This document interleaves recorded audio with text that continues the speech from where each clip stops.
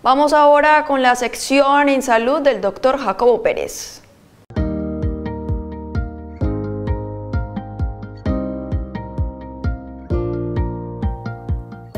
¿Qué tal amigos? Hoy vamos a continuar con el tema de cáncer de seno que ha despertado un enorme interés entre la teleaudiencia. Entonces voy a contestar otras preguntas. ¿Cómo es la cirugía del cáncer de seno?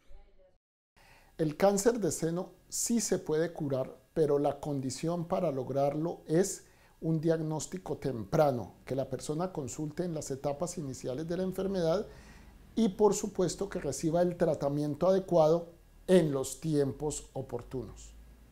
¿Cuál es el tratamiento para el cáncer de seno? El tratamiento del cáncer de seno involucra varias especialidades y varias modalidades. La cirugía es uno de los manejos centrales del cáncer de seno, pero además existen otros muy efectivos que la anteceden y la, o la complementan, como la quimioterapia, la radioterapia y la hormonoterapia. ¿Cómo es la cirugía del cáncer de seno? La cirugía del cáncer de seno ha evolucionado desde unas cirugías muy agresivas, muy mutilantes, que era quitar la totalidad del seno o la mama, hasta las cirugías que practicamos hoy en día en las cuales solo quitamos un pedacito del seno, el pedacito afectado por el cáncer de seno. ¿Cómo se hace un diagnóstico temprano del cáncer de seno? Lo ideal es que las mujeres se diagnosticaran antes de que el cáncer formara una masa, o sea, antes de que la mujer se sintiera una pelota en el seno. Para lograr esto, las mujeres tienen que comenzar a hacerse mamografía a partir de los 40 años. Cada año a partir de los 40 años.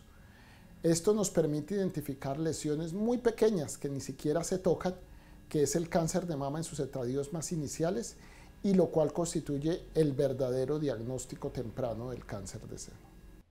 ¿Se puede tratar el cáncer de seno en Tuluá? Afortunadamente en la ciudad existen casi todos los recursos para un diagnóstico y un tratamiento adecuado del cáncer de seno. Lo único que no tiene Tuluá en este momento es la posibilidad de radioterapia.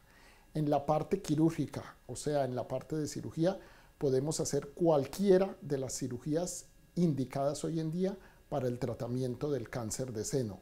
También existe la posibilidad de la quimioterapia y la hormonoterapia. Para aquellas mujeres que se detectan una masa en el seno, deben consultar inmediatamente al médico.